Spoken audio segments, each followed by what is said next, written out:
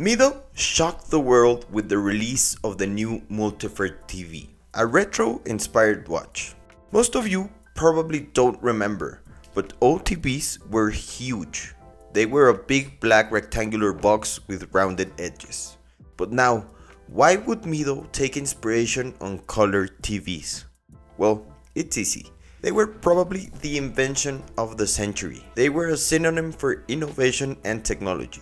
People actually thought they were living in the future with these things. And I mean, they were.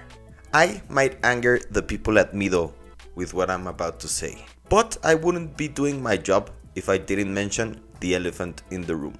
The first model of the Mido TV series was launched in 1973, so that being 50 years ago, it made sense to release some new versions of this watch to celebrate. And they decided to celebrate the Mido TV with a homage to the Patek Philippe Nautilus. I know firsthand that Mido's CEO goes wild when mentioned this, but come on. Look at the version with the orange strap. Are you going to tell me that they look completely different? The bezel is finished exactly the same way, high polish on the sides, brush on the face, the gradient on the dial, the orange strap. Come on. Well, yes, they look alike. Is that a bad thing? Well, eh, you tell me.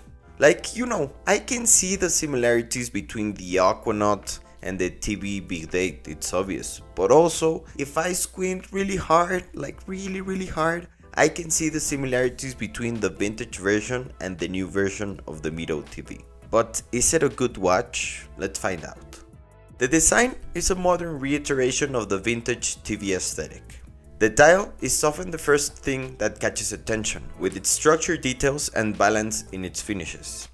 It has a linear texture combined with the gray to black gradient. It actually becomes much more interesting when seen up close. It even reminds me of when static appeared in old TVs. The finishing on the case and bezel are actually pretty good, with high shine finishing on the sides and brushed in the face. The case is crafted to complement the wrist, providing a touch of sophistication while remaining versatile enough to suit both casual and formal wear.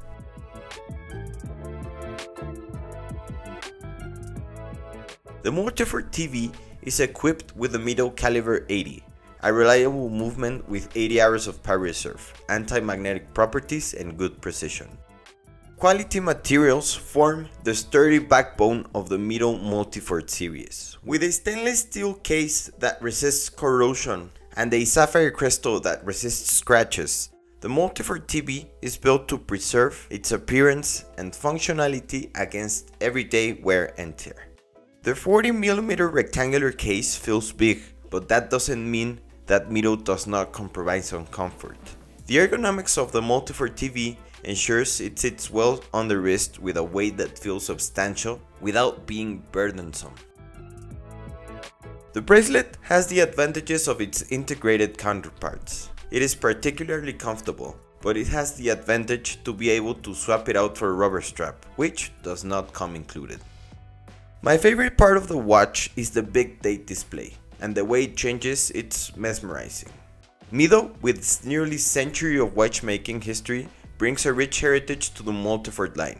The TV model is infused with the brand spirit of innovation and has a story that watch enthusiasts and collectors appreciate. The retail price of this watch comes up to 1250 US dollars, which, Jesus, it's a bit steep in my opinion. Now, I have to be honest. I have a close friend that bought this watch, and two weeks later, the date change stopped working. My friend was so frustrated that he just wanted his money back, even though Mido offered a brand new watch. I know, maybe it's a bit of an overreaction, but more than a thousand dollars is a lot of money. So, I also understand why my friend wanted nothing to do with it. And since I've heard of a lot of people that are taking the Multifort TV back because of problems with the date change. The Multifort TV offers a compelling package of looks, quality and function at a price that's competitive in its segment. In conclusion, the Mido Multifort TV is a good looking timepiece. it yeah, it I mean, it looks like a, an Aquanaut. It may take its inspiration from a Patek or from the first versions of the Mido TV. But it's a good looking timepiece. The finishing is what you would expect from a timepiece over a thousand dollars. I wish it came with the extra rubber strap. If I were to buy it, which I won't, I would actually wait for a discount. Is it worth it? I don't really know. What I know is that this watch is not for me. But is it for you? Leave it down in the comments.